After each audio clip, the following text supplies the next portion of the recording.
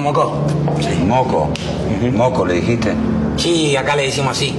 Se llama Cristian. Sí, sí. Cristian. Sí. Decile. Decile Cristian. Se llama Cristian. Cristian.